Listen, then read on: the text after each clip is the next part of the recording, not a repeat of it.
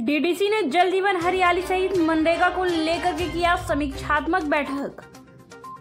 भागलपुर समाहरणालय परिसर के डीडीसी कार्यालय में डीडीसी प्रतिभा रानी के द्वारा जल जीवन हरियाली और मनरेगा को लेकर समीक्षात्मक बैठक किया गया। उक्त बैठक में जल और हरियाली को संरक्षित करने को लेकर चर्चा किया गया। वहीं मनरेगा में चल रहे कार्यों की समीक्षा भी की गई। वहीं साथ ही साथ गोराडी प्रखंड के मुरहन पंचायत में मनरेगा कार्य में किए गए भ्रष्टाचार को लेकर बताया गया कि इसका जाँच रिपोर्ट आ चुका है। इसमें उक्त भ्रष्टाचार में संलिप्त जनप्रतिनिधि के साथ साथ जितने भी कर्मी से लेकर अधिकारी तक संलिप्त हैं और दोषियों पर कार्रवाई करने की बात कही।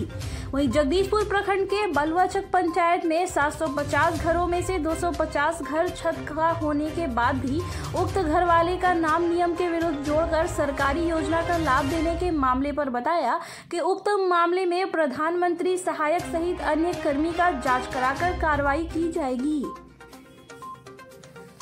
वहीं हम आपको बता दें कि कुछ माह पूर्व ही बलवाचक पंचायत के सरपंच के द्वारा छत वाले मकान वाले से आवास सहायक सहित अन्य अवैध उगाही का भी मामला प्रकाश में आया था, जिसको लेकर वर्तमान सरपंच के द्वारा कई अधिकारियों को भी लिखित शिकायत दिया गया था।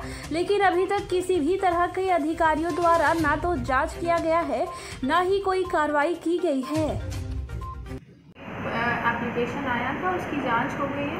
जाँच रिपोर्ट भी आ गया, उसको हम लोग आगे कार्रवाई के लिए पुटअप कर रहे हैं। तो जिस भी अनुसार जहाँ जिस भी स्तर से अगर कोई गलत काम किया गया है तो उसको नियम के अनुसार उनको सज़ा दी जाएगी। जगदीशपुर प्रखंड का एक मामला है बलवा चक पंचायत का। वहाँ पे देखा जा रहा है सात सौ बीस आदमी को प्रधानमंत्री आवास योजना के तहत उनको दिया गया है आवास आवंटन दिया गया है। जिसमें कि 220 ऐसे व्यक्ति हैं जिनको भी छत की मकान और दो तल्ले की मकान है।